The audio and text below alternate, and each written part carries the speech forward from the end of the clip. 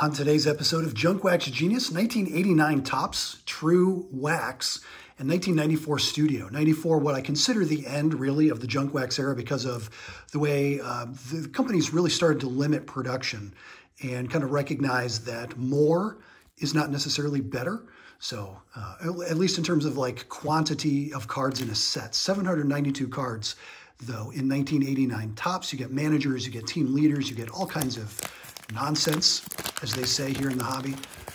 You get a stick of gum attached to your baseball card. It's not really supposed to be attached, but after uh, 30 odd years wrapped up together, Tommy Barrett is permanently ruined, and old Scott Medvin, looking startled maybe that he's on a, a baseball card, uh, he's ruined as well. Not not really, but uh, Tommy Barrett, we're not getting you back, bud.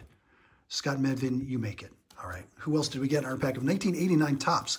I'm holding out for that Gregg Jefferies. I'm still holding out for Gregg Jefferies, Dave Schmidt, Andy Van Slyke All-Star, Von Hayes, Dave Gallagher Topps All-Pro Rookie. Uh, back in the day, I put all of those trophy cards in a binder, even if I didn't know the first thing about the guy. Doug Dascenzo, Dave Stieb, dominant around that time. Howard Johnson, another strong hitter of that day. Joe Boever, the Saver, Steve Lake, Dennis Boyd, Rob Dibble, Robin Yount, Royo, hashtag Royo, and Sil Campusano, hashtag Royo. Interesting uh, font there. The, the spacing seems a little different on the back of his card as opposed to, let's see, just like the, the font size. Maybe they had to change it a little bit.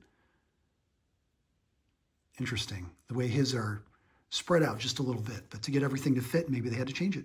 There you go. Robin Yount in our 89 Topps pick of the pack. Let's move on to 94 Studio. You get 12 cards in here, but they are premium quality, definitely more upscale.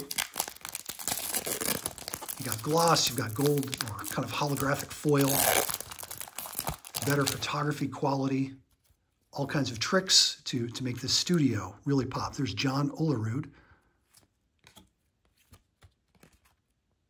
Raul Mondesi. Would have been excited to get a Raul Mondesi card in 1994. Ellis Burks. Kind of difficult to read, this uh, kind of holographic foil print, but you can sometimes cheat and look at the player's name on their jersey over their shoulder. No such luck, though, with Eric Davis wearing 33 for the Tigers and no name on the back of his jersey. Interesting. Reggie Sanders wearing those Reds vests back in the day. Mark Grace, there's Gracie, 17. Roberto Mejia.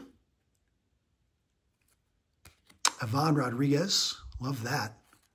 We'll put him just to the side. And we'll come back and review. Pat Kelly, of course, no name on the back for the Yankees. Mike Stanley, Scott Livingstone. And the last card in the pack, Tim Wallach, longtime Expo, here a Dodger. There's Ivan Rodriguez, Pudge. I like these studio cards.